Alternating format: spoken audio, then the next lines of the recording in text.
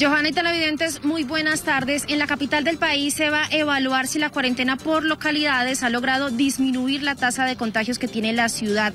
Hasta el momento, el balance por parte de la Secretaría Distrital de Gobierno es positivo. En la primera semana de aislamiento de estas ocho localidades se han impuesto aproximadamente 3.000 comparendos y se han entregado 35.000 ayudas humanitarias a esas personas que por las restricciones no han podido salir a trabajar.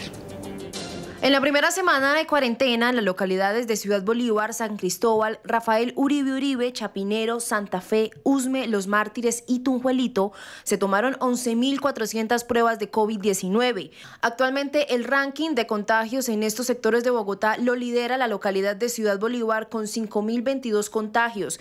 Le sigue San Cristóbal con 3.120, luego Rafael Uribe Uribe con 2.955, Usme con 2.440 Tunjuelito con 1.615, Santa Fe con 1.526, Los Mártires con 1.215 y Chapinero con 1.081.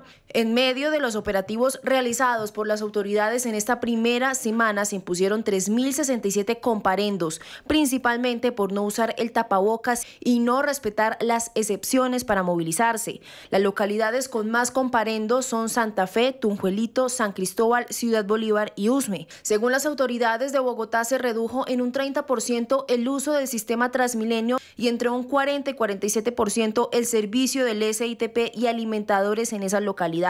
La cuarentena de estas ocho localidades irá hasta el próximo 26 de julio. El siguiente grupo que entrará en cuarentena sería el de las localidades de Bosa, Kennedy, Puente Aranda y Fontibón e iniciaría desde el 27 de julio hasta el próximo 9 de agosto. Tatiana Zanabria, Cable Noticias.